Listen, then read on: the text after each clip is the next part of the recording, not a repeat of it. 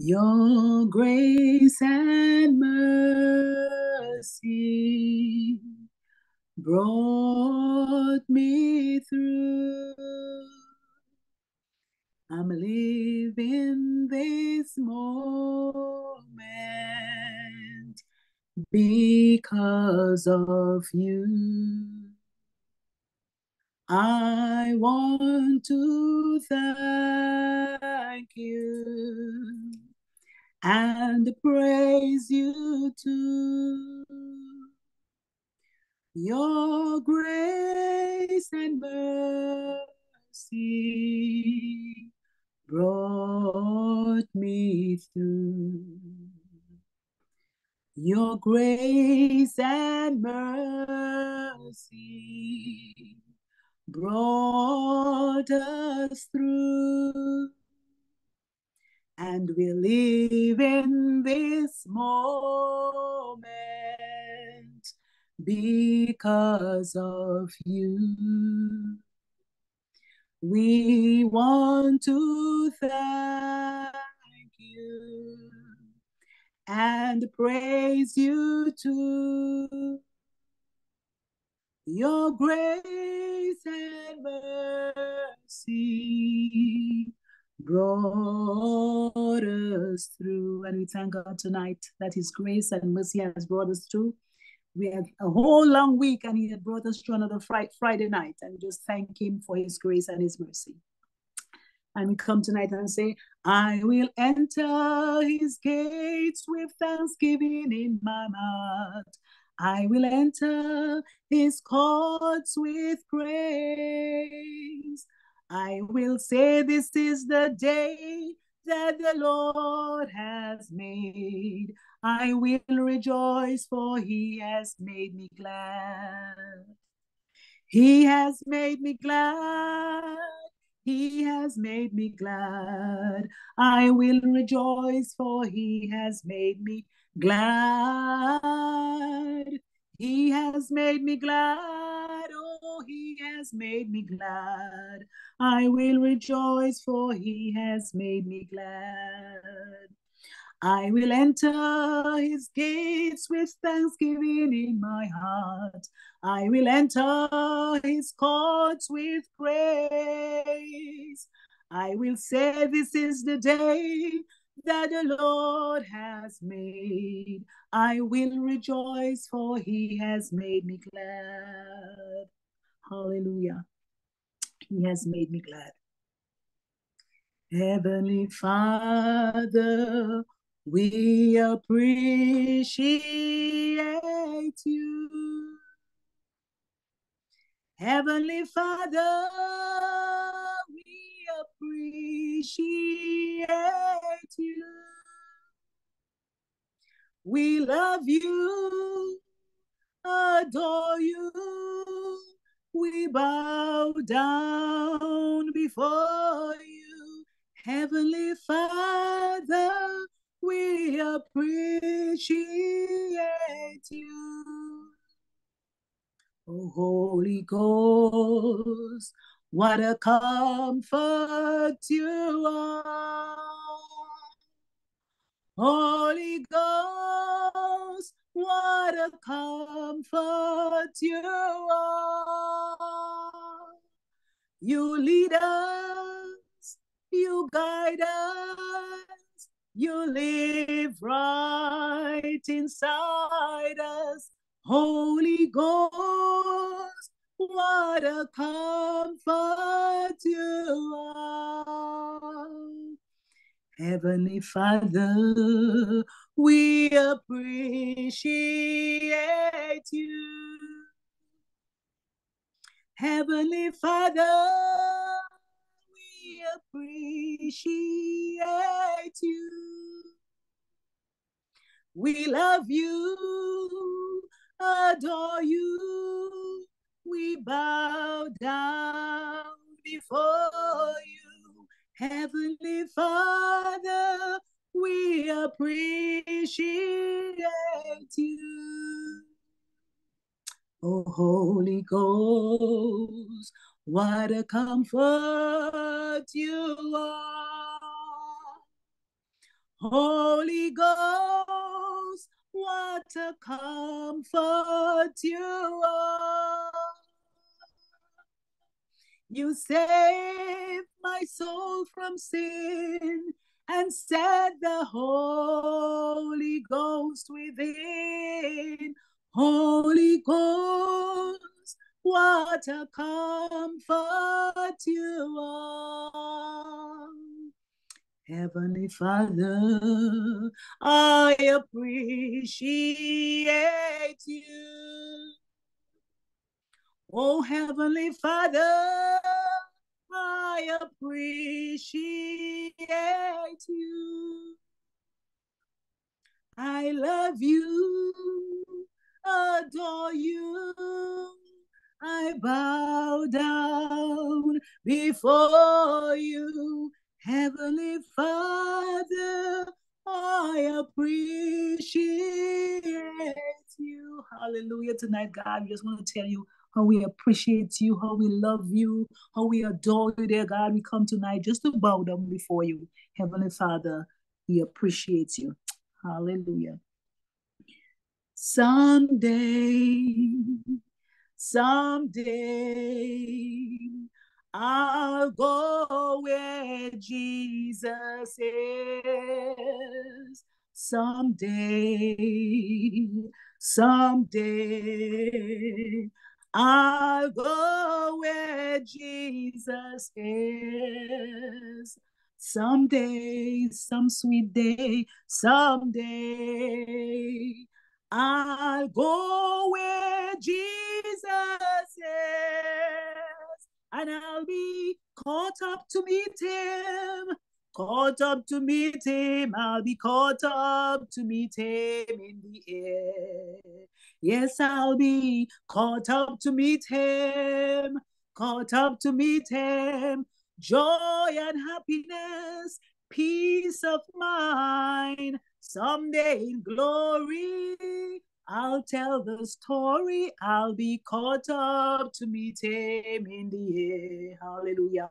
Someday, someday, we'll go where Jesus is. Someday, someday, we'll go where Jesus is. Someday, someday, we will go where Jesus is, and we'll be caught up to meet him. Caught up to meet him, we'll be caught up to meet him in the air. Yes, we'll be caught up to meet him, caught up to meet him. Joy and happiness, peace of mind. Someday in glory, we'll tell the story. We'll be caught up to meet him in the air. Hallelujah. And that's our prayer tonight, dear God, that someday, some sweet day, we'll go where Jesus is and we'll be caught up to meet him in the air. There'll be joy and happiness, peace of mind. We'll have no more worries. Someday in glory, we'll tell the story. We'll be all caught up to meet him in the air. Have mercy. Hallelujah. I stand, I stand in awe of you. I stand, I stand in awe of you. Holy God, to whom all praise is due. Yes, I stand in awe of you. We stand, we stand in awe of you. We stand, we stand in awe of you. Holy God, to whom all praise is due. Lord, we stand in awe of you. Mighty God, to whom all praise is due, Lord, we stand in awe of you. Mighty God, to whom all praise is due. We come tonight, Lord, and we stand in awe of you. You're the creator of the universe. What can't you do? What can't you do, Jesus? You're the name above every other name. What can't you change?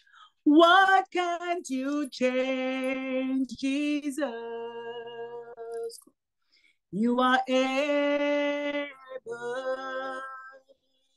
great and mighty God. You are able, Jesus. You are able, great and mighty God. You are able, Jesus. And there is nothing, there's nothing you cannot do. There's nothing you cannot change. There's nothing you cannot turn around. You are able, great and mighty God. I put my trust in you. You are able, Jesus. For there is nothing, there's nothing you cannot do. There's nothing you cannot change. Nothing you cannot turn around.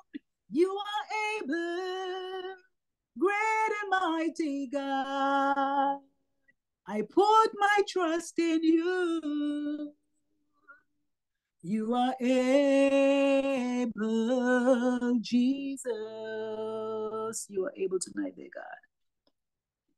Hide me now under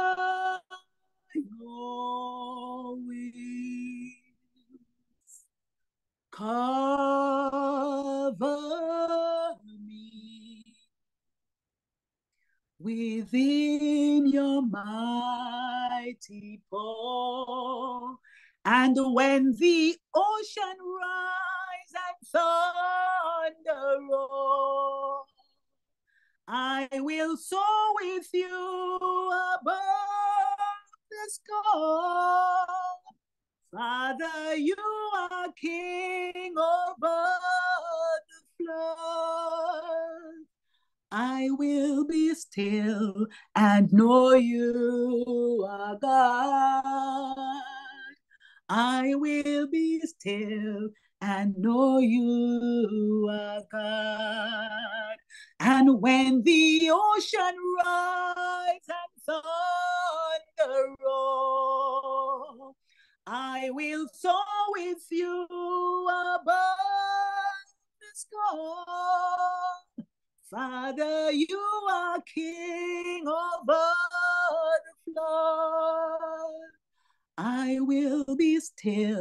and know you are God. I will be still and know you are God. Hallelujah. Be still and know that I am God. Be still and know that I am God. Be still and know that I am God.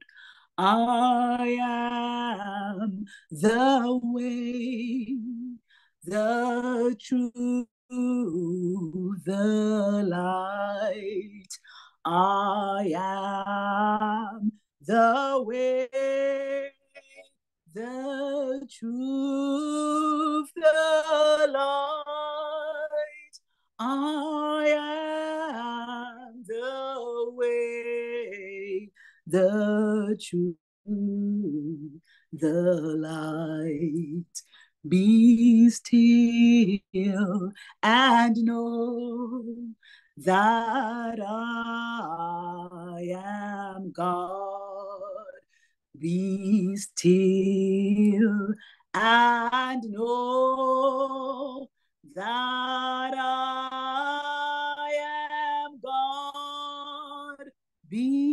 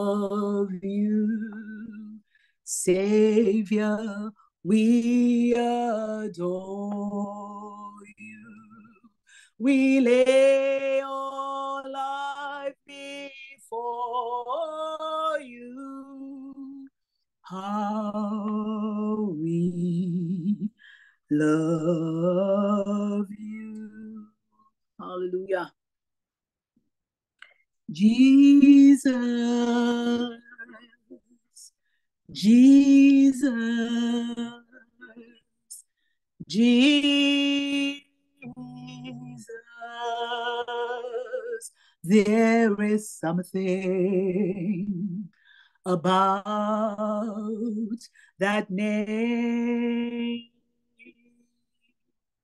Master, Savior, Jesus, like a shower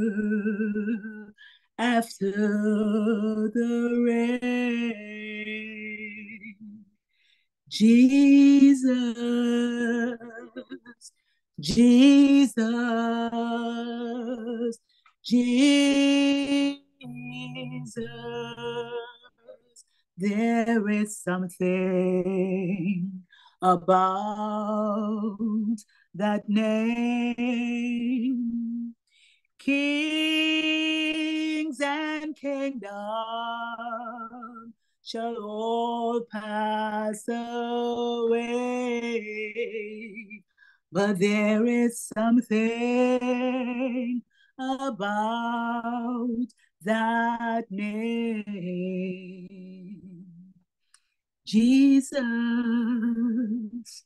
Jesus,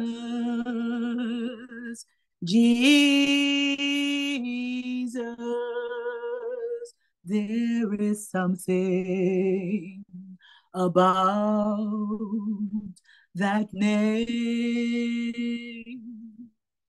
Master, Savior, Jesus, like the shower after the rain. Jesus, Jesus, Jesus, there is something about that name. Kings and kingdoms will all pass away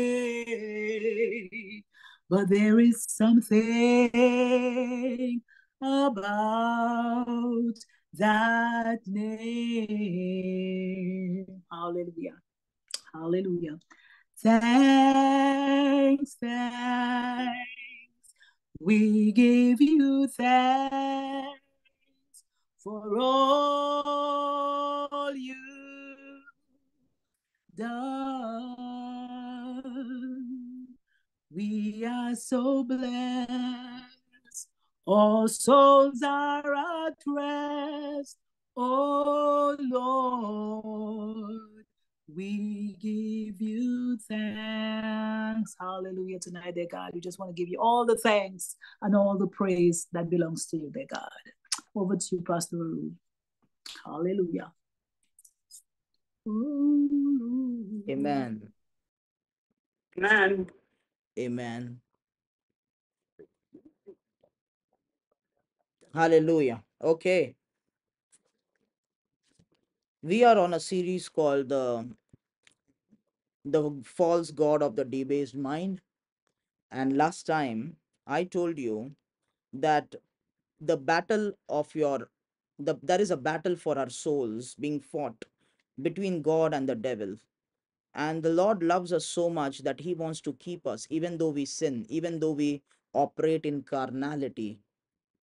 But when we there are states of mind and the battle for our, for our souls whether god wins it whether god wins our soul or the devil wins our soul depends on the state of the mind and there are four states of mind the debased mind is the mind where god gives up a person to the enemy gives up a person to think uh, to to believe in lies. That is what we saw in the book of romans chapter number 1 okay we will i will not go into that. I have uh, covered some things some revelations on this on the debased mind in the last two sermons. So uh i will not go into that. But what we are on right now are the four types of minds that the bible talks about. And i already told you the carnal mind is the first one the spiritual mind which is also called the mind of christ the mind of god. Third is the anxious mind. And the fourth is the debased mind. So let me these are the four types of mind. Before going into the carnal mind first let us understand uh, we are going to spend a lot of time on the carnal mind and to understand the carnal mind. For us to understand the carnal mind let's understand how our mindsets are shaped and how is a mindset created. We all have a mindset.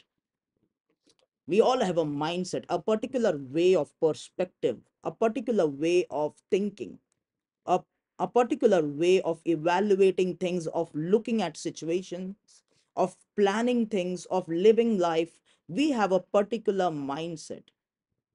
Okay? Hallelujah. Are we together? But when uh, the thing is when we were not in christ we had all different mindset. But when we come into christ the body of christ all of them have have to suppo- supposed to have one mind. We will come to that. That's mentioned in philippians chapter number 3 what paul writes we all have to be of the same mind. That does not means we have to come into agreement that we all should be vegetarians. No not that kind of agreement or that kind of mind. We all have supposed to be broken the or destroyed the car the old mind and come into the newness or the renewing mind called the mind of christ. Okay? So so let's understand that we all have a had a particular way or even now have a particular way of mindset of thinking of evaluating or of perspective that we that we think or that we uh, create the way of lives and live accordingly. So the mindsets are shaped and how the mindsets are shaped the doctrine that we hear shapes our mindsets. That is where where, where i ended last time. The doctrine that we hear shapes our mindset. The doctrine that we hear shapes our mindset. Now you will say when we were babies what doctrine did we hear? We didn't know. That so what happens is what is the doctrine that we hear? The doctrine that we hear is the lifestyle and and the environment that we are introduced to from our childhood. That is the doctrine infiltrated into our mind that shapes our mind and controls our life. Okay? The lifestyle the teachings or the way we saw our parents behave with us the, the way they behaved with us the way they treated us the way they spoke to us is the doctrine that has that has shaped our mindset. For people who had rich parents and who were treated well you know kind of whenever they wanted even at the age of 11 they wanted a bike super bike a supercar the father was rich and kind of okay take the money buy that car buy that bike buy this buy that. They they in the in their childhood in their younger days in their teenage days they were introduced to that lifestyle which was a doctrine to them. And then because of that they will never understand what is hard work. And and and all their lives they will never understand how how how some people work hard to earn their living because they were introduced to a lifestyle in the beginning of their lives that shaped that shaped their lifestyle the whole life journey. A mindset was created through a mindset was created through the lifestyle and environment they were introduced to Hallelujah. The only reason the people of Israel were not able to enter the promised land, they were chosen. That was God's plan. That was God's promise for that's why God invested so much. He encountered Moses, he trained Moses, he brought Moses.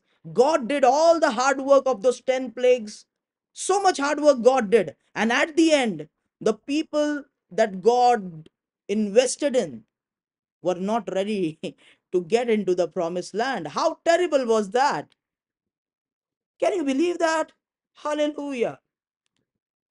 Imagine you investing in a person for around 25 years, giving up your 25 years to train that person, to equip that person, to bring them out from something. And then at the end, you realize this person is not going to go anywhere. How frustrated you would be. Do you understand the frustration of God? Why did that happen? The whole generation perished in the wilderness. God had to raise up a new generation along with Joshua and Caleb, the men of renewed mindset. So to, to take them into the promised land, the men of renewed mindset. Romans chapter number 12. We will come to that. Hallelujah. So the problem with the people of Israel, the reason why they were not able to enter the, the promised land was because that generation that God took out of Egypt, they grew in Egypt. They grew in slavery. They grew in, in doing that job under Pharaoh. They ate from the table of Pharaoh. They ate from the table of Egypt. They were introduced to the wisdom of Egypt, not to the wisdom of God. From that childhood, that shaped their mindset. And even they were on the verge of the promised land. You know what they said? We want to go back to Egypt because it was a mindset. Do you agree with me now that the lifestyle and the environment, now that is one example. There are many examples like that. Take, for example, Gideon. Gideon grew up. Gideon was a warrior in the eyes of God. He was a man of God. He was the one who would who would deliver Israel. But Gideon don't did not know that. Why? Because he had a mindset. Where did the mindset come from? The mindset came from his family. I am what tribe was he? I think Benjamin. I am of the little tribe. I am of the lowest tribe and my family is the lowest family and i am the lowest and the and the smallest in my family. So that was the mindset. Why? Because that that was that that is how he was brought up. That is how he was brought up. That is how he was brought up people of god. Mindset plays a very important role in your salvation. The bible says you are made up of and i am made up of body soul and spirit the body means the flesh. The flesh has its own will. The spirit has its own will. And that's why when you read Ga- galatians chapter number 5 you will see that the uh, the spirit and the flesh are contrary to each other. They fight with each other. The only neutral part of the being of a human is the soul because the soul consists of something called the mind. Are we together? So so when you are saved the bible says your soul is saved. Have you ever heard in the bible your flesh is saved? No. Your spirit is saved? No. The spirit is pure when it when it when it is commu- when it is joined with the spirit of god. It's it's that is what uh, apostle paul uh, writes about. That when we commune with the lord fellowship with the lord we become one spirit with him. That is being born again born again by the spirit. The spirit is pure. The spirit is not filthy. The flesh is filthy. It it cannot be purified. As long as you and i live in the flesh we will struggle because that is the flesh. Okay? The only neutral part is your soul. The soul has the ability to make a decision. The soul has the will. Are we understanding? The will that we have is in the soul part the soul has the will whether to take part of the flesh or to align with the spirit and walk in the spirit. The soul contains the mind. That's the neutral part the mind. So when you are saved not your your flesh is not saved. Your flesh will go to the grave and will decay one day. Your spirit is already pure. It comes from god. What is saved is your soul. So the salvation so the salvation it, it it does not means that oh once you accept jesus you got the ticket to heaven. You have to practice your salvation. You have to work your salvation with fear and trembling. That is what is working your salvation is renewing your mind. Your mindset plays a very important role in your salvation. That's why the battle for your soul depends on your mind depends on your mindset are we understanding?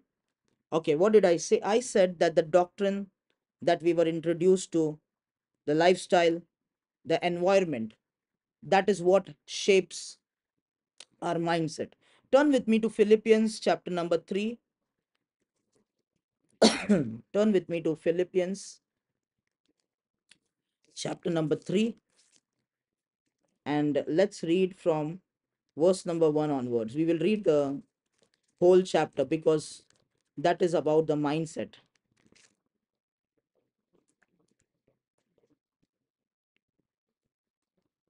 Okay. Philippians chapter number 3 we'll read from the first verse.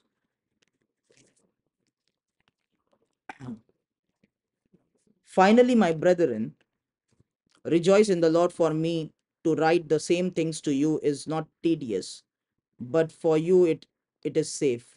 Beware of dogs. Beware of evil workers. Beware of mutilation of the mutilation. For we are the circumcision who worship god in the spirit. Rejoice in christ jesus and have no confidence in the flesh. Though i also might have confidence in the flesh if anyone else thinks he may have confidence in the flesh i more so. Now stop there. Now after this what apostle paul writes is his old mindset and the way his mindset was shaped. Starting from verse number 5 circumcise the eighth day of the stock of israel of the tribe of benjamin a hebrew of the hebrews concerning the law of pharisee concerning zeal persecuting the church concerning righteousness which is in the law blameless this is how he was trained. This is the doctrine he was introduced to. Are we understanding that? So he is saying if and and what he is saying that is if i if i abide by those things my old mindset the way my mindset was shaped a pharisee of the pharisees zealous of the law as per the law if you judge me okay if you judge me as per the law of moses i am blameless. I am the most righteous man. So that is how my mindset was shaped. But what he says after that so that is he that is what he is talking about the confidence in the flesh. If you if you abide by your old mindset and you are confident, that confidence is not the confidence in the spirit. That confidence is not the confidence in God. That confidence, confidence is in the confidence of your flesh. So he is teaching people there that this is what I was. This is this is how I studied. This is what I was introduced to. This was my doctrine. This was my mindset. And if I take these things into consideration and work as per it, I would have confidence in the flesh what you have. You are teaching all those things, you know, about circumcision and all those stuff. But verse number seven, verse number seven, very important. Listen to me. But what things were gained to me, these I have counted, uh, I have counted loss for Christ. So what we, you and me need to do, what Paul did, that is what we need to do. We have to throw our old mindset that was structured by our old lifestyle. We have to destroy it completely. Hallelujah. Everyone say, I need to give up my old mind. I need to give I up my need old to mind. give up my old mind. Yes, I need to give up. We need to give up. We need to give up our old mind. Hallelujah. Many Christians haven't done that. Most of the Christians I speak to haven't done that. Oh, I know this already. I have been there. I have I have done this. I have done that. I have done this. They, that is your confidence in the flesh. You cannot depend on past experiences. just because just because a, a a doctorate or a phd is good but it's good for the world it's not it's it's it does not qualifies you to be a, a scholar in god's eyes. To be a, a scholar in god's eyes you have to you have to scrap your degrees that you received from the school of egypt and go to the top of the mountain and start learning from god. Hallelujah. Are we understanding? That is the problem was that was the problem with moses? Do you know the bible says when stephen preached the sermon this the martyr the martyr who was killed for for the gospel in the book of acts when he preached the sermon he mentioned that moses in his sermon he mentioned that moses was trained in the wisdom of egypt in the school of egypt moses was his mind was structured in a certain way Now, the school of Egypt teaches confidence in the flesh. The wisdom of E- Egypt teaches confidence in, in the flesh. That is how Egypt is. They, me- they worship uh, the Pharaoh as God, they worship the flesh. That is what they teach. So, Moses tried to do ministry in that wisdom. What he tried to do was he tried to go, he tried and uh, going to show the people of Israel that I am your deliverer by killing a Egyptian uh, Egyptian warrior by killing a Egyptian warrior. So that is what, what he thought he will do. I am I am trained in the strength of Moses had a lot of bodily strength. Maybe I don't know if there was karate or judo that time. I don't know what was being taught in Egypt, but he was a good physical fighter Hallelujah. Do we know that? He killed a Egyptian. He killed a Egyptian. The Bible also says, you know, when the daughters of Jethro were drawing the water from the well, the other shepherds came to to fight with them. Moses was the one came and fight and drove them off. He had a he had great skills in fighting. That is what he learned from Egypt. He was a he was a very mighty man when it came to flesh, when it came to fighting in the flesh, physical physical fight. But that is not how God would work. So God broke him in the land of Midian.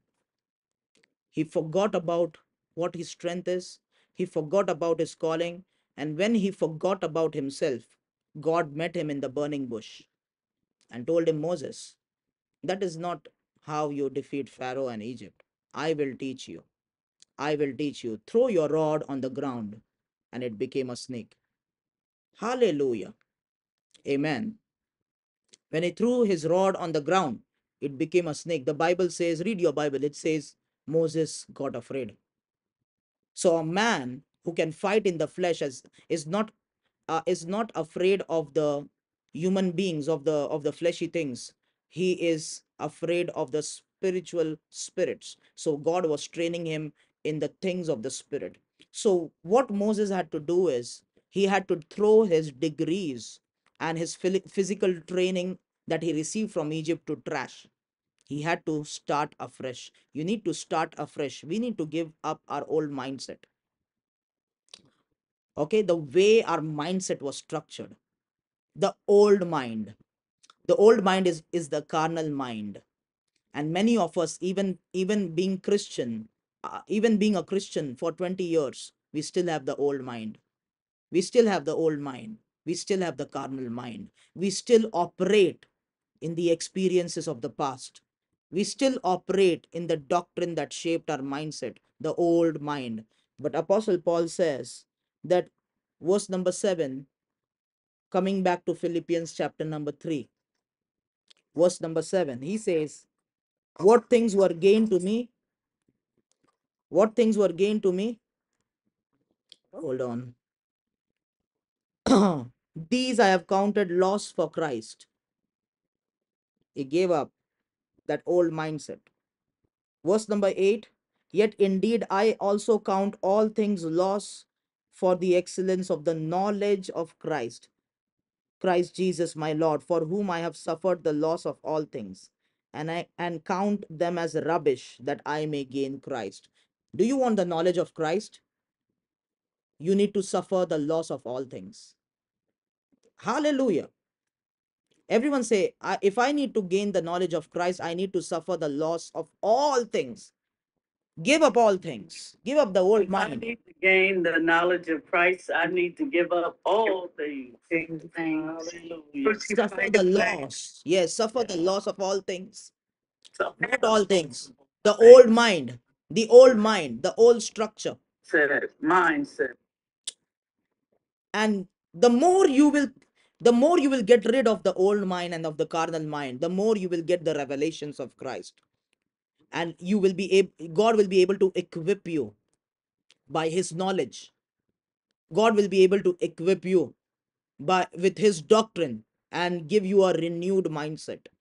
The spiritual mind is a renewed mindset. Okay let's go ahead. Verse number 9 that I may, uh, verse number 8, that I may gain Christ and be found in him, not having my own righteousness which is from the law, but that which is through faith in Christ, the righteousness which is from God by faith. Alleluia.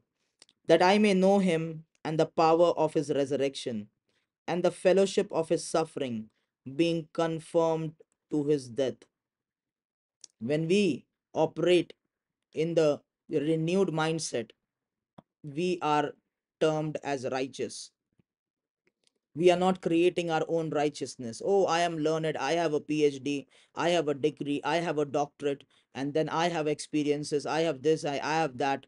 We are creating our own righteousness that does not even count. All our righteousness are like filthy rags, the book of Isaiah says. But when we operate in the renewed mindset, give up the old mind, God terms us as righteous and when we are righteous we can commune with god when he uh, clothes us with righteousness and what happens the, the another thing that happens when we operate in the renewed mindset gain the knowledge of christ we take part of the power of his resurrec- resurrection verse number 10 and we fellowship of his suffering and we be we being conformed to his death we understand what he did for us verse number 11 if by any means i I may attain to the resurrection from the dead.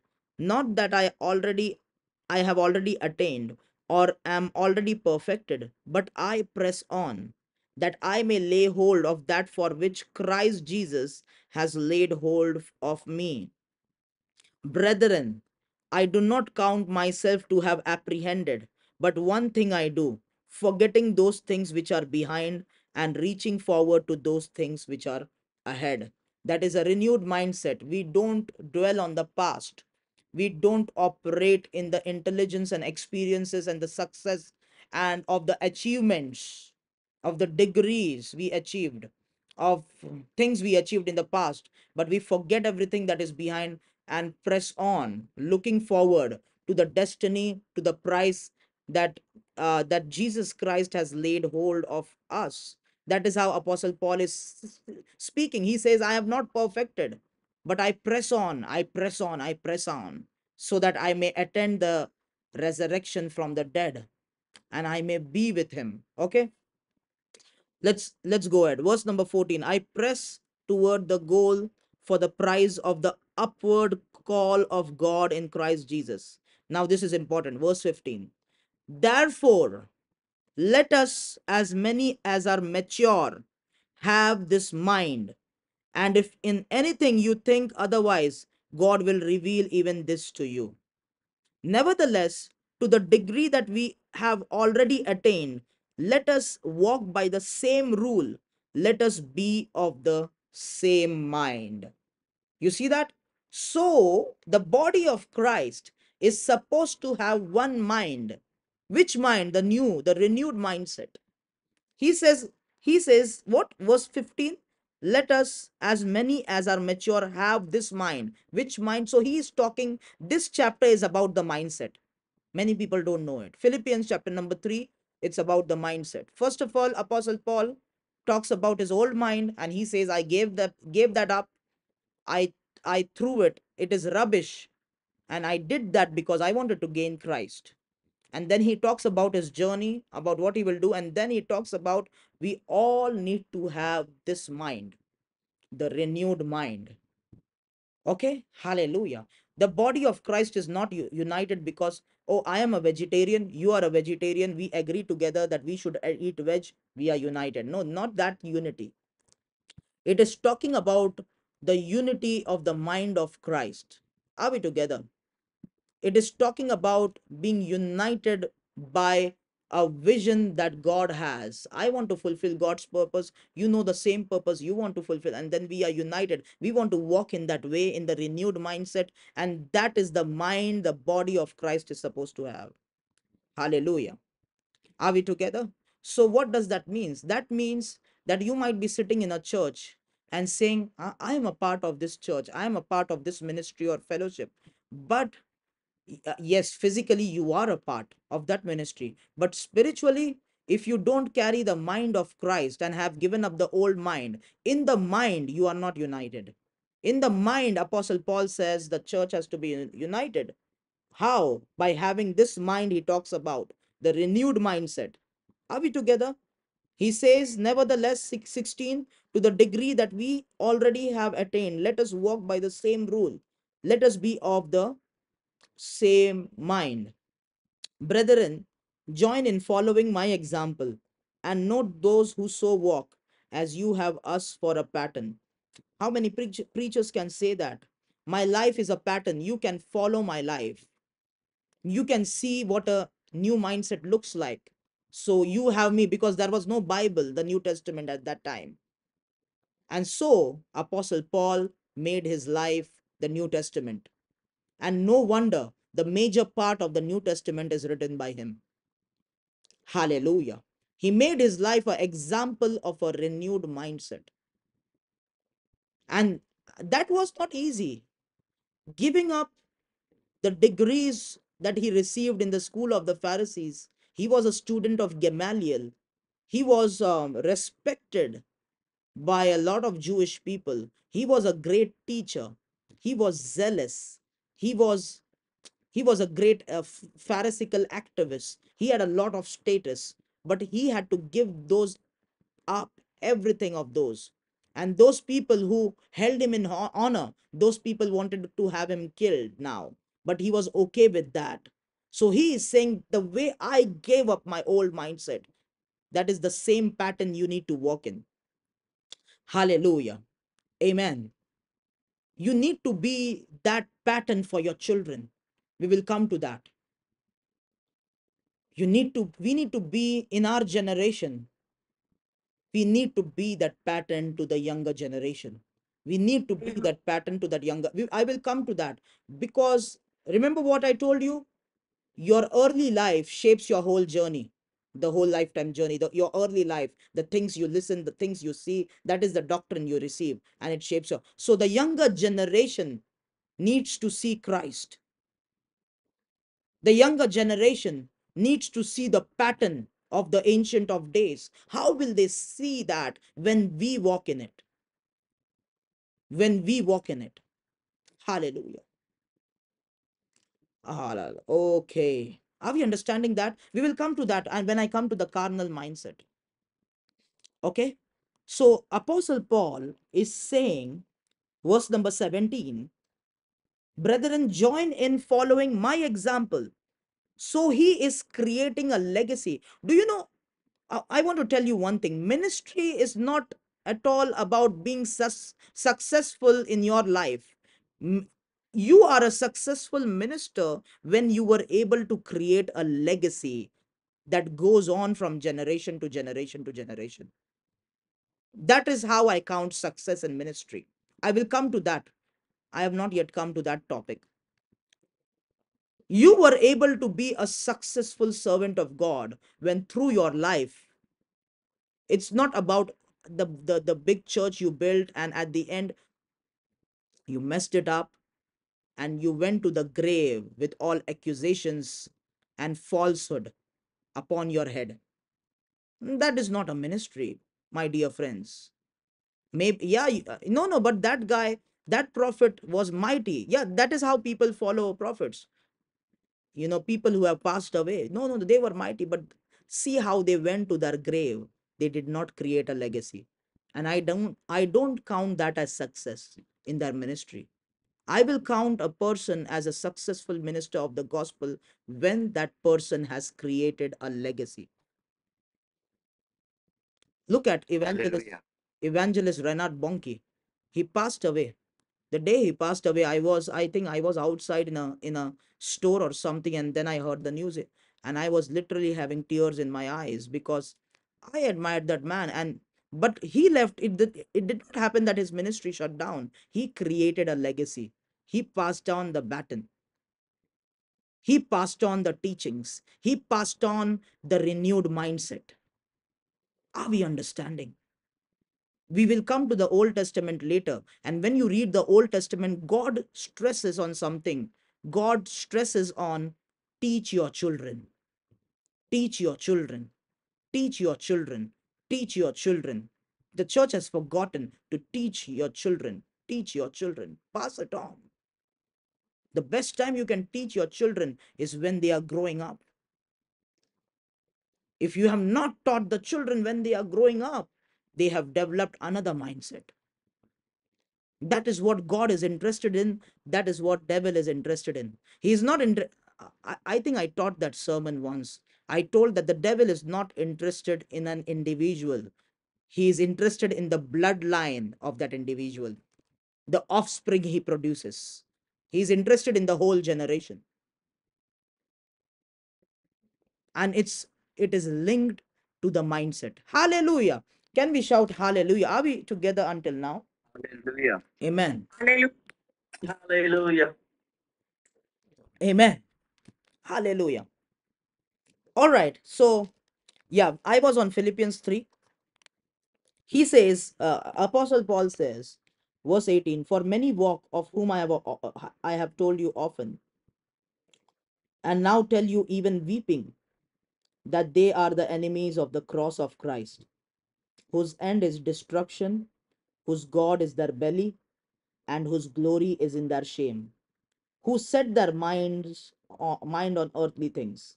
For our citizen, citizenship is in heaven from which we also eagerly wait for the Savior, the Lord Jesus Christ, who will trans- transform our lowly body that it may be conformed to his glorious body, according to the working by which he is able to able even to subdue all things to, to himself.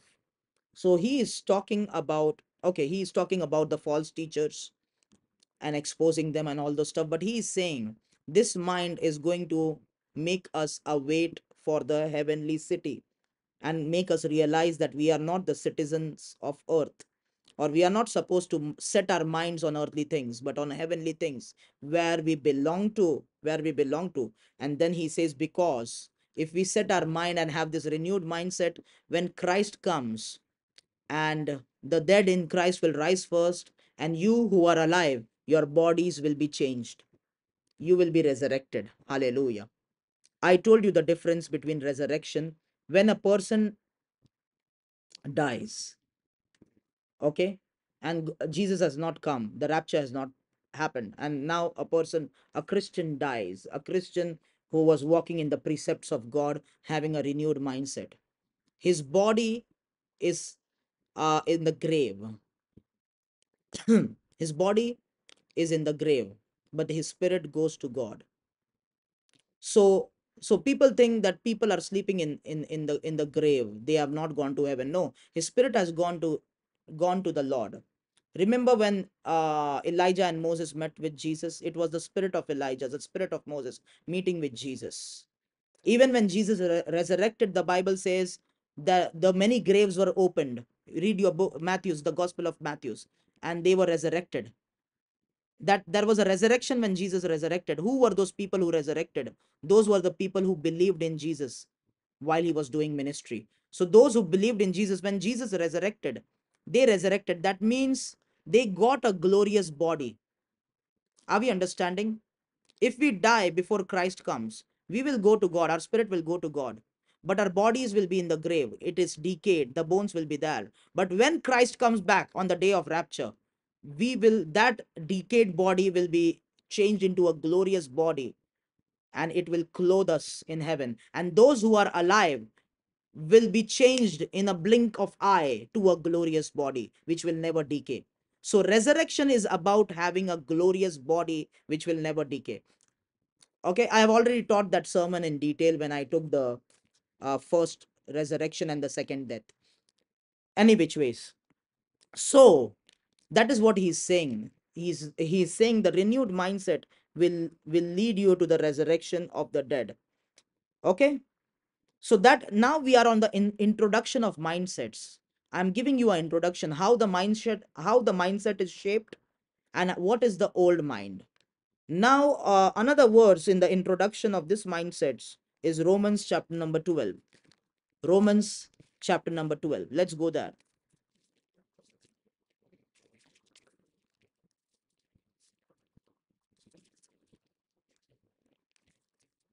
Verse number 2. Verse number 2. And do not be conformed to this world, but be transformed by the what? By the renewing of your mind, that you may prove what is the good and acceptable and perfect will of God. that is how you prove the will of god that is how you walk in the will of god when you are not conformed to the world to the patterns of the world to the old mindset and but you are renewed so the new mindset is a renewing mindset. That means it is renewed day by day. Okay? It is taught day by day. It's a it's a renewing mindset. Like how you have an insurance policy. Let's say your car insurance policy. You took the insurance policy. That does not means that insurance policy will last for you till your death till the car is scrapped or something like that. You have to renew that policy every year so that is renewing of mind. You have to you know you have to look at the deductibles and whatever the coverage coverage and see what accidents happen or what repairs were done and then uh, you have to pay pay for the renewal price and renew the policy. That is how that is what is the bible talking about that the new mindset the spiritual mindset is a renewing mindset. It's not something i got the new mindset today so i will forget about it we have to work on it because it has to be renewed every day are we understanding? If we don't work on the renewed mindset, it is not renewed. We will go back to the old mind. The new mindset has to be renewed every day. How it is renewed? By meditating on the word of God, by being in the presence of God, by spending time in in in in a in the fellowship of God's people. The mindset is renewed by hearing the right voice, the teachings of the word of God, the mindset is renewed. So the new mindset is not about being confirmed. The new, the old mindset is a confirmed mindset. Are we understanding? The old mind you have that was structured by your life's, your early lifestyle and your environment and the doctrines you you, you heard. That that is a confirmed mindset. So you don't have to renew it. There are things that are embedded into your mind that has become a stronghold. Let me say the old mindset is like a stronghold you know like the like like the city of jericho. So it had walls and no one had to do anything. The enemy could not get in. It it was an established stronghold. So that is the old mindset. The new mindset is not does not looks like a stronghold the new mindset looks like a flowing river like a flowing stream of water. So what you have to do it you have to keep pouring into that river that is renewing and the water is flowing. For the water to flow in your in your city in your village there needs to be rain every year. If it rains properly there will be the river flowing. The year it does not rains you will see the rivers driving drying up is that true Hallelujah. So, are you understanding the old mindset is a confirmed mindset? It does not need renewal. It's like a stronghold. In India, I was looking at the Indian strongholds. There are many strongholds in India that the kings and the emperors have built. And some of the strongholds, which are 700 years old, they are still standing. There was no renewal made to it. They are still standing. Are you understanding? So that is the old mindset. Something the devil planted during your childhood, it still exists and it will still function like a stronghold.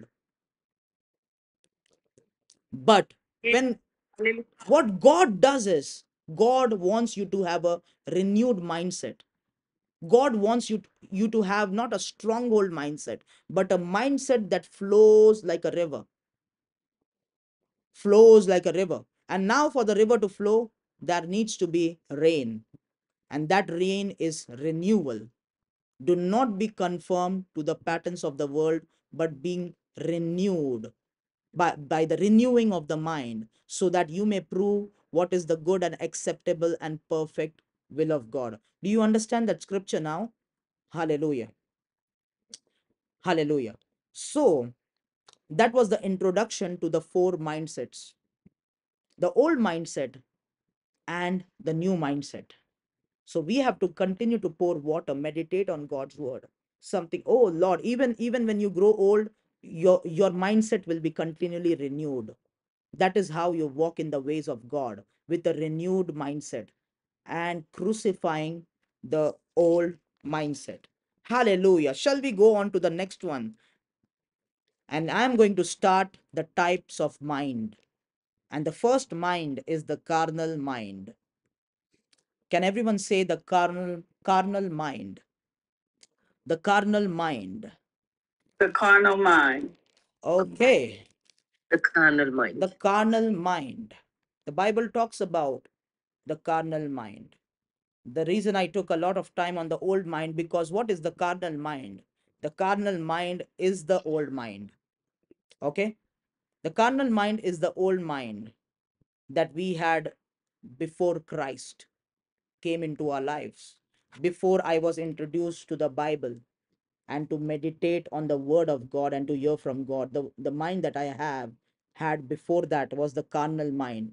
When I came to Christ, I have I am supposed to crucify that mind, kill that mind, or give up that mindset, destroy that mindset, and have a renewed mind, a new teaching, a new doctrine that starts to shape and give me a new lifestyle.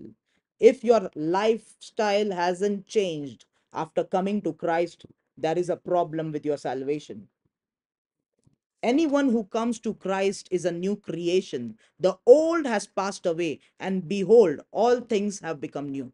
So, if you if a person came to Christ as a beggar, begging on the streets, asking money.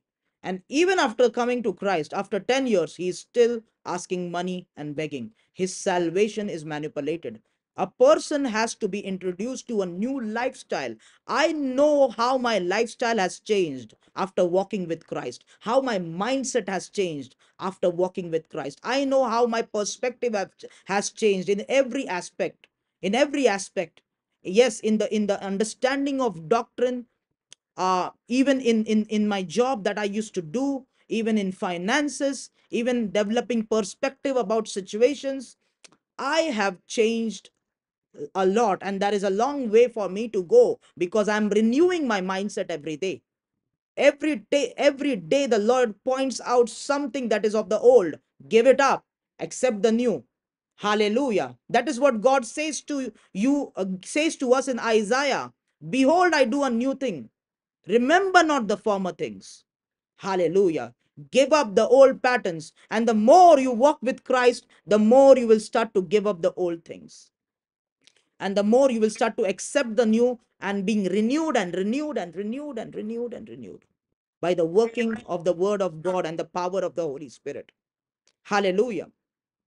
Hallelujah. So, so that is the carnal mind is the old mind that we had before we came to Christ. What did I say? The problem with Israel was not faith problem. The problem with Israel, the people who came out of Egypt. Oh my God. I, I when I read the scripture, I understand the frustration God went through. My God, God did such a lot of investment, trained Moses, did the 10 plagues, parted the Red Sea, brought them out. God wanted to take them to the promised land. So much of investment. I'm telling you, if I was there investing on a person for 25 to 30 years, almost 40 years, above 40 years, technically 57 years, God invested on them. 50, 40 to 57 years, I left my work and invested on those people, and the people still did not change a bit. How frustrated I would have been. I would have taken rod and spanked them. I don't know. I would have sinned in anger. But God was patient. Wow. Look at God. Oh, I am frustrated, brother. No, no, no, no, brother. If there, there is someone eligible to get frustrated, is God, because He has He has bared a lot with us. Hallelujah. We have given Him a lot of trouble. Do you believe that? Hallelujah. Remember that when you get frustrated, if someone has to be frustrated, it, it is God, it is not me.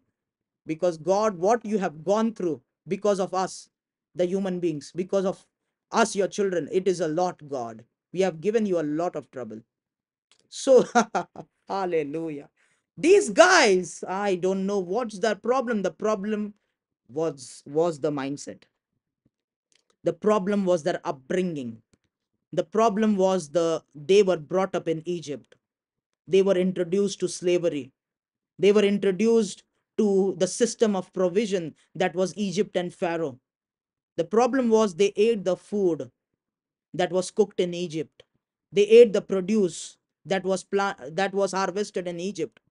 And that is the mindset that was created, the old mind. The problem was they even worshipped idols that belonged to Egypt. Yes, Israel worshipped idols. When they came out of Egypt, they brought idols of Egypt along with them. When you read the book of Ezekiel, you will know that. Read the book of Ezekiel, I think chapter number 20 you will know that that when Israel was coming out of Egypt, they brought the idols. So what is the problem of Israel? Why Israel could not enter the promised land? The people who were brought out never entered the promised land except Joshua and Caleb was because of the carnal mind. Because they hung on to their old mind. They hanged on to their old mind. Turn with me to Numbers chapter number 11. Turn with me to Numbers chapter number 11.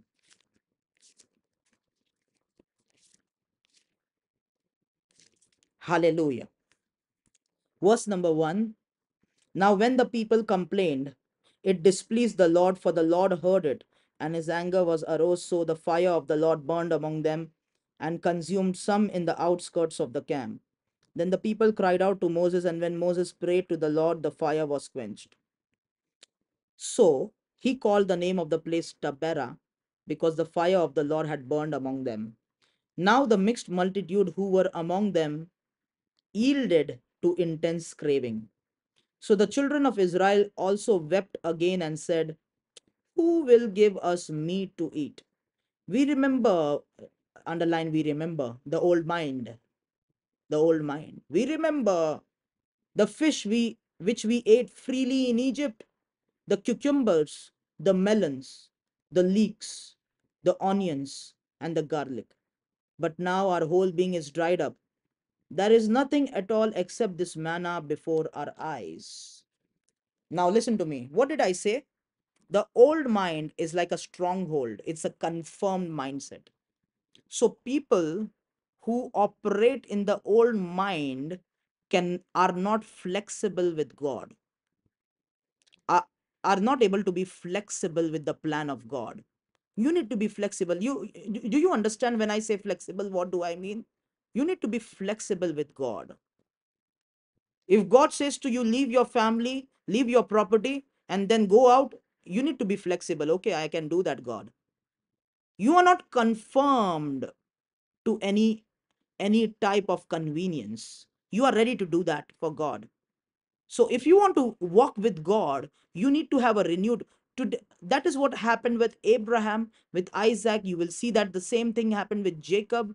Today they were here but god said tomorrow you are going to be there. So so so make the arrangements pack up change your lifestyle and go there. Live there. Okay now it's over go from travel from this place to that place. They were the patriarchs. They were the sojourners who traveled toward, towards a promised land. Abraham isaac and israel. Are we understanding? Hallelujah. If if i am a sojourner i god says start off from india. Go to go to another nation. I have i have to leave my convenience in india i have to leave my uh, my things that i have acquired in india leave them go and go to another place and settle down and do what god tells me to. So so you need we need to be flexible. That is a renewed mindset. Where listen listen listen. Where we are not depending on the meat that is in our freezer. Oh we have meat in the freezer but we are depending on a manna that comes fresh every morning are you are you understanding? The meat there is meat in the freeze- freezer. I can keep it for one month and eat of it. But there is something that god gives fresh every morning and it's different. So i don't know tomorrow morning what god has for me. When i wake up tomorrow morning i seek the lord. The lord speaks to me. I know what you have in store for me. I am not depending on tomorrow for my today. That is the old mind so they said we remember the food of egypt. They or the food of yesterday is not sorry not the not tomorrow yesterday. I am not depending on the meat of yesterday. I'm not depending on the on the things conform to the things of yesterday and of the past to control my present. What i am doing is i am living today on the fresh things that comes from god. And if god says that there are some changes you need to make i'm ready to make the changes. Are you understanding? Operating by the new mind. Operating by the new mind is taking a risk. Operating by the new, new mind is you don't know tomorrow where god will take you. Tomorrow where god will take you you don't know. And when obadiah met elijah and elijah said to obadiah go and tell king ahab i am here. Come and meet me obadiah told elijah my master my lord elijah I will not go because he will he would have me killed. Because I know today you are here tomorrow the Lord takes you somewhere. So you have no proper destination. Those are the men of God who are not confirmed to a specific mind and to a specific place what did jesus said to nicodemus? He said those who are born by the spirit. You see the you you hear the wind but you don't know where it comes from and where it goes. So are the children who are born of the spirit. You don't know where they will go. Hallelujah. Are we understanding that? But these people were like we remember the cucumbers. They are conformed to a specific pattern and they don't want to get into the new pattern that God is introducing them to. Hallelujah. Are we understanding, people of God? They are not able to understand the new pattern that God is introducing them to. So it says, We remember the fish we freely ate in Egypt, the cucumbers, the melons, the leeks, but we are dried up waiting for this manna every day. A Christian life is lived afresh every day. And then you need to be flexible. Whatever God tells you to do, that is a renewed mind. Are we understanding that? So that was the problem. That was the problem with the people of Israel. They were used to work for Pharaoh and they knew we will get a monthly salary and with that monthly salary we buy the cucumbers we buy the melon we buy the meat we buy the quails we buy those stuff and, and uh, we put it in the freezer winter is coming so we can buy stuff put it in the freezer eat it. You know there is no problem. There is security for tomorrow. I have invested in in the funds. I've invested in stocks. There is security for me for my retirement age. When you serve god god does not gives you security assurances. It's every day. It's tomorrow you don't know but you have to depend. God i know you are there with me.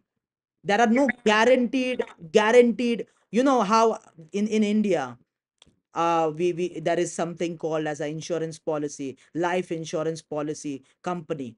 So a kind of we we invest in that. People would invest in that and they will say there are guaranteed ris- return. After you turn 55 years you will get this much amount of dollars you know thousands and thousands of dollars if you invest every month. After you turn 55 i don't even know where i will be when i will be 55 so i am not invested in that policy. Hallelujah. What i am investing in is in the things of heaven. And the returns there are non perishable the returns there are non perishable invest in heaven where thieves cannot steal it and where where moth cannot destroy and where it cannot be rusted. Hallelujah are we understanding? So that is how a renewed mindset is. A renewed mindset has to take the risk. A renewed mindset has to depend on god for every day. You cannot say i want to be confirmed where they are giving me guaranteed returns and guaranteed assurances. No. For walking with god you need to walk by faith and not by sight. He will not give you a guarantee. He will just give you a word. And his word to you will be the guarantee. If you can trust that word and walk in the word hallelujah. And have faith. And sometimes things will not happen but you got to have the faith. I'm telling you what you are getting that guaranteed returns the returns that you get in this faith journey with god will be immense. You can't imagine. It will be immensely larger than what the world can offer you what the devil can offer you what your hard work can offer you. Hallelujah. That is the renewed mindset and israel were not able to get not able to get rid of that old mindset. They wanted the guarantee they wanted the leeks the cucumbers the way they enjoyed egypt the way pharaoh provided for them. They were not able to get out of that system out of that mindset. Hallelujah. Another verse numbers chapter number 13 numbers chapter number 13 let me not read the whole chapter numbers chapter number 13 talks about the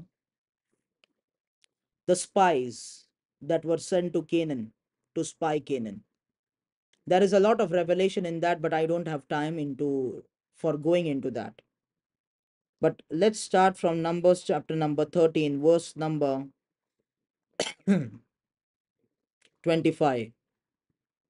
Numbers chapter number 13, verse number 25. And they returned from spying out the land for 40 days. Now they departed and came back to Moses and Aaron and all the congregation of children of the children of Israel in the wilderness of Paran. At Kadesh, they brought back word to them and to all the congregation and showed them the fruit of the land. Then they told him and said, We went to the land where you sent us. It truly flows with milk and honey. and this is its fruit. Nevertheless, the people who dwell in the land are strong, the cities are fortified uh, and very large. Moreover, we saw the descendants of Anak there. The Amalekites dwell in the land of the south. The Hittites, the Jebusites, and the Amorites dwell in the mountains. And the Canaanites dwell by the sea and along the banks of Jordan. Then Caleb quieted the people before Moses and said, Let us go up at once and take possession, for we are well able to overcome it. But the men who had gone up with him said, We are not able to go up against the people, for they are stronger than we. And they gave the children of Israel a bad report of the land which they had spied out, saying, The land through which we have gone as spies is a land that devours its inhabitants. And all the people whom we saw in it are men of great stature. There are the, there we saw the giants, the descendants of Anak came from the giants, and we were like grasshoppers in our own sight, and so we were in their sight. Chapter number 14, verse number 1. So all the congregation lifted up their voices and cried, and the people wept that night. And all the children of Israel complained against Moses and Aaron and the whole congregation and said to them, If only we had died in the land of Egypt, or if we only we, we had died in the wilderness, why has the Lord brought us to this land to fall by the sword? that our wives and children should become victims. Would it not be better for us to return to Egypt? Hallelujah. You heard the scripture? So, listen to me very carefully.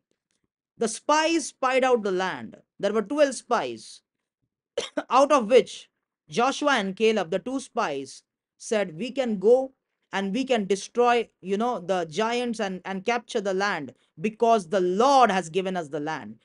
But on the contrary, there were eight spies, or rather, the 10 spies, who said, We cannot go there because they are giants and we are like grasshoppers. We cannot fight them.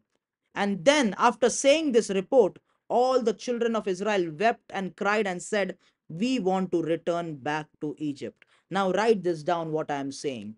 Your old mind or the carnal mind shapes your perspective. Shapes your perspective. The way you evaluate things. So, even if the Lord wants to bless you with a land of milk and honey, but and the Lord wants to give you comfort and joy, but your eyes will show you destruction and darkness. Why? Because you are operating in the old mindset. People of God, are we there? Are you listening? Say, can you say amen? Hallelujah. Your hallelujah. Amen. Amen. Okay. If you if I am operating and if you are operating by your old mind, your old mind will shape your perspective, the way you look at things. I, I remember when God was training me, there were some things that was supposed to bring me joy and happiness and blessing. But because I operated in my old mind, the way I looked at it, I said, Oh, again, trouble, again, devastation. I don't want it. May you have the eyes to see what God is blessing you with. Because if you don't have it, you will reject the things of God. Hallelujah. You will reject the blessing of God. That is what Israel did. When you when we operate by the old mind, we cannot receive from the hand of God. See the difference. Joshua and Caleb, they said, The Lord has told us we will have the victory. Though they are giants, we are small, but we will destroy them. We will capture the land. We will, we are on our verge for the promise to be fulfilled. But these other spies said, We are grasshoppers. They are big.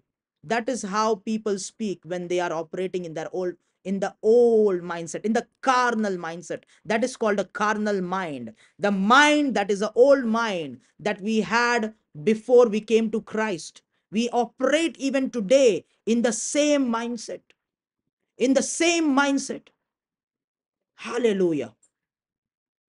So when we operate in our in the old mind, in the carnal mind it it starts to shape our perspective. And then even when god is trying to bless us but we see that as a curse. And we say we don't want it. We want this one. We don't want that. We want this one. We don't want this. We want this one. You know when i got the re- renewed mindset i told god god whatever you want to give me and i know the things you want to give me the things you want to introduce to me will be beyond my capability because it should it will be by your grace i am ready to receive it you should know to receive from the hand of god you should know to receive when God blesses you. Sometimes God will bless you through people. You should be humble enough to receive through those people. Are we understanding that? Hallelujah. Amen. You see, Hallelujah. Apostle Paul talks about Apostle Paul was not a extremist man. Oh no, no, no, no. I am this, I am that. I will not receive from that person. He would receive from the poorest church that was in Macedo- Macedonia, that was in Achaia. even philippians the church of philippians he talks about it hallelujah because he knows he could see when god is blessing him and he would receive it with open heart but some people reject the things of god like the people of israel. God wanted to take them into the promised land a land flowing with milk and honey. A blessing. What a wonderful blessing. What a wonderful destination. What a won- wonderful place to stay. But what they saw there aha we don't want this. We want to go back to egypt. We want to go back to that comfortable life. Hallelujah. Hallelujah. Hallelujah i remember when god called me into full-time ministry i had a permanent job. I had a job that would pay me a lot of money every month. And god told me step out. And and and, and with no funds no savings he told me you have to your time has come at the age of 26 you need to step into full time ministry if i operated in the old mind no no no no i want to give get monthly salary. I did i, I could not give give conditions to god. Like jacob gave condition god if you will give, give me water if you give me bread then you will be my god and uh, you will be my god and i will serve you and i will pay you my tithe. That is what jacob said. We cannot give god conditions. So i did at that time i did not say to god you know what? I will step into ministry if the salary i am getting in my job the same salary i will get when i step into ministry.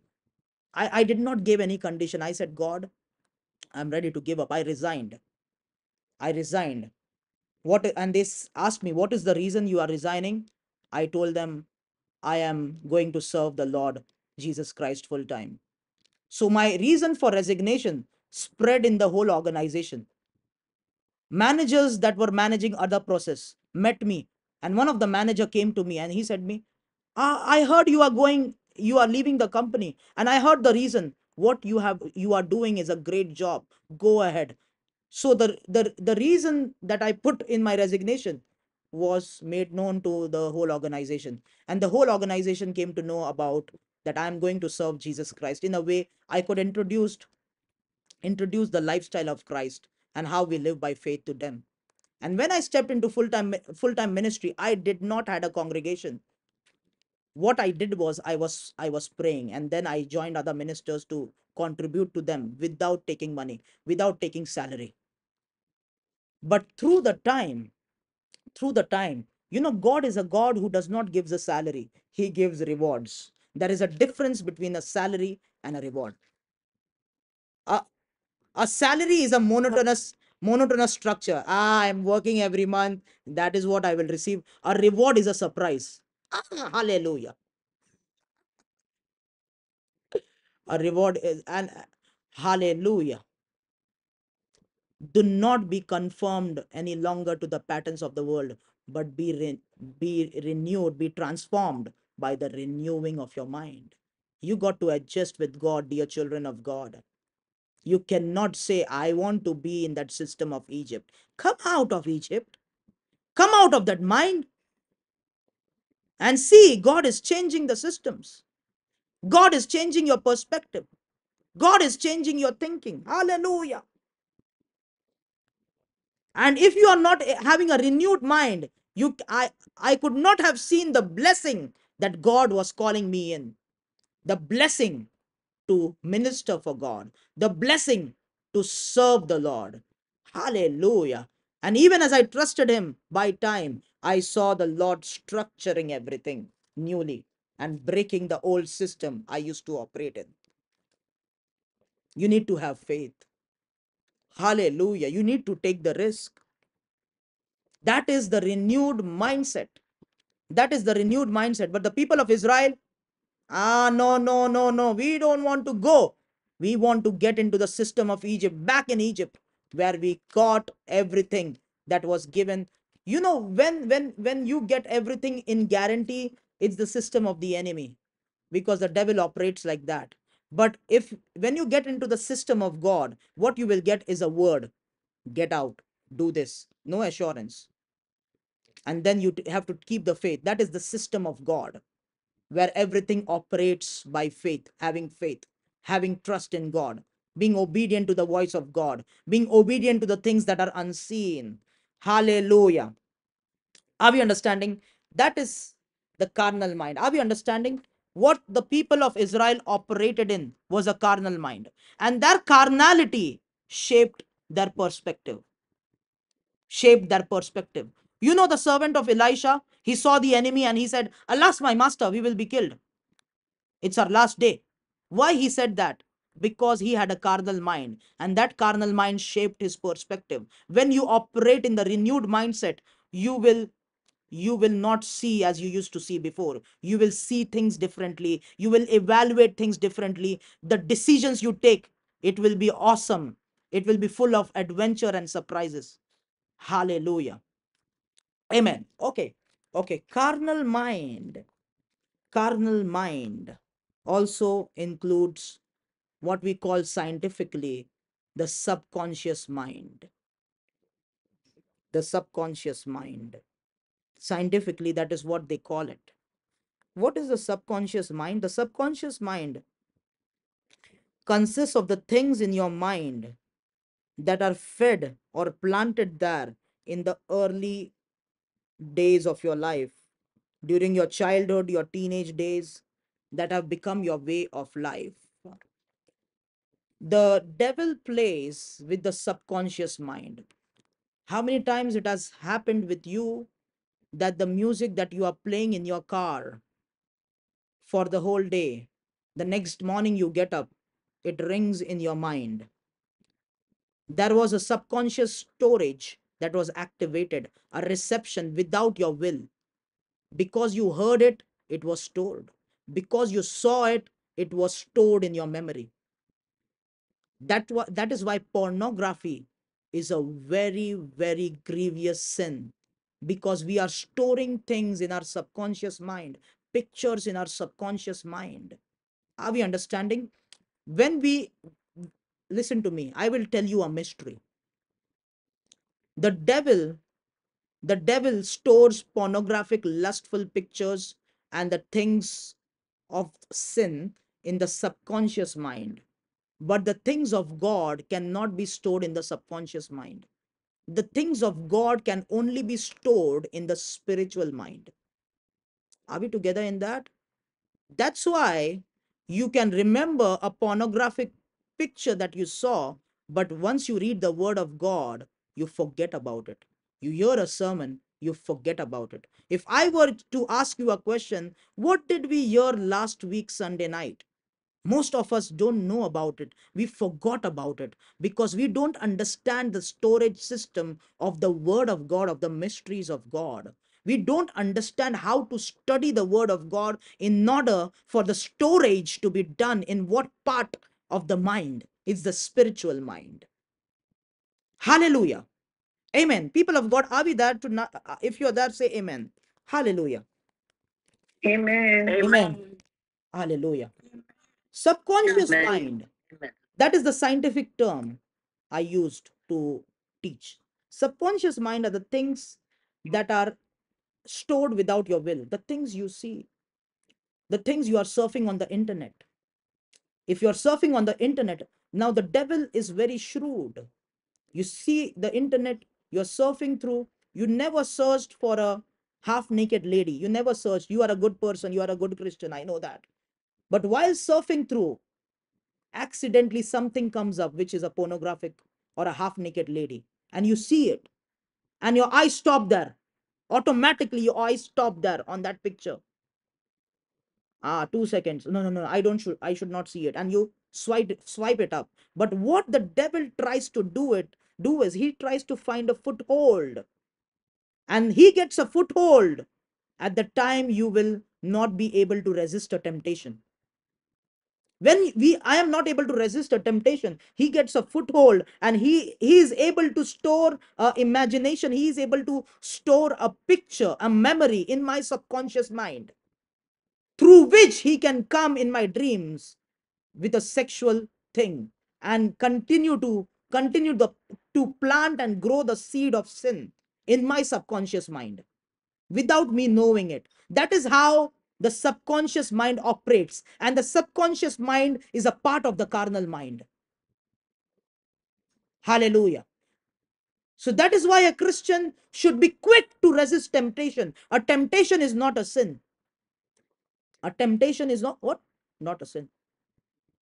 A man of god whom i listen and who is approved by god and i i listen to that man of god came on the pulpit and said if I have slept with any woman, let the woman come in front and tell about it. If I have lived a pure life, let, let the woman post on my that that is what I have done. I have never ever touched a woman who is not my wife. And I want to give a challenge to men of God who think they are men of God. Can you say that on your pulpit? And can you say that on your pulpit? That is what the man of God said. So after he said that, many other men of God were aggravated. They said, What is he saying? And most of the men of God who are very famous and influential, you know what they said? They said, He is a liar because there cannot be one man who has not lusted after a woman. Everyone lust in their heart, and that is adultery. Hmm.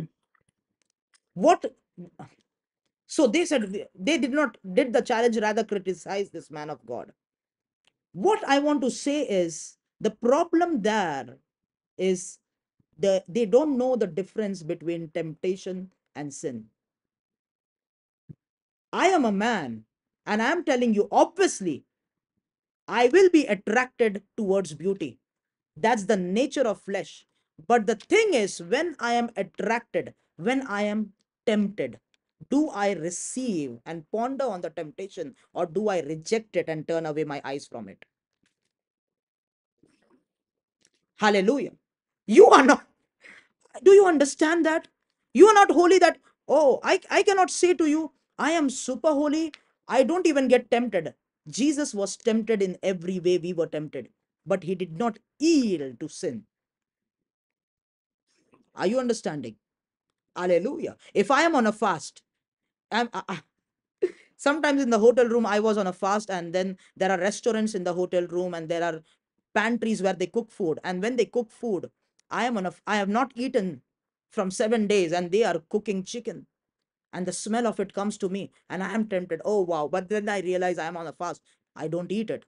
That is, I was tempted, but I resisted the temptation. I am not a spirit. I am a, I am in the flesh. Are you understanding that? Hallelujah.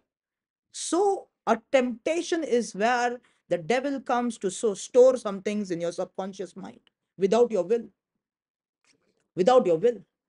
And the greatest of the men of God will have sexual dreams. The greatest of them. Because the subconscious mind is what we have to understand is a storage room where things are put in without the will of the person. Do you understand that, people of God? Yes. Mm. Yes. That does not mean you are a sinner. You are a lustful person if you got a dream. It happened because of the subconscious mind. It happened because of that subconscious mind. It's a part of your carnal mind. And that's why the battle between the flesh and the spirit is an intense battle. It's an intense battle. It's a fight for purity. It's a fight for holiness. It, it is a fight to stay consecrated. It is a fight to stay disciplined and stay in the course and stay and live the life that God wants us to live, a holy life. It's a fight. Hallelujah. Let me stop here. I am out of time. The subconscious mind is a part of the carnal mind. I will continue on the carnal mind coming Sunday night. Hallelujah. But I pray that that people will be transformed even as you hear these teachings. Hallelujah. Tonight that we will break from our old mindset, from our carnal mind, and understand the workings of the enemy and understand that we need to have a renewed mind. Hallelujah. Father, I want to thank you. Hallelujah. You said, work out your salvation with fear and trembling. In the mighty name of Jesus Christ, I pray that you will expose every wiles and strategies of the enemy that he works through the human mind. Oh Lord, even as we study on this mind, I pray for grace, Lord, that we will understand your, your doctrine, Lord. We will understand the mystery of the human mind, Lord. These mindsets, Lord. And we will realize, Lord, even as you are speaking to us, the old mind and the old habits and the old perspectives we need to break free from. And you will deliver people by breaking strongholds in their minds. Deliver them, and even as strongholds are broken, and even as strongholds are broken, Lord, demons will come out in Jesus' mighty name. Because many of the demonic spirits who are controlling the lives of people are sitting in those strongholds, are sitting and hiding in those mindsets. I pray when those mindsets will be broken, when there will be a wave of repentance among your children, demons will come out in the name of Jesus Christ that manipulated their life, Lord. And Lord, that they will be the rivers, Lord, the fountain of living waters who will flow and who will not be confirmed like a stronghold. In the mighty name of Jesus Christ. Hallelujah. I want to give you all the praise, honor, and glory. I cover all the people, even those who are not able to make it, Father. Take care of them and lead them and guide them in your word. In Jesus' mighty name, we pray. Amen. God's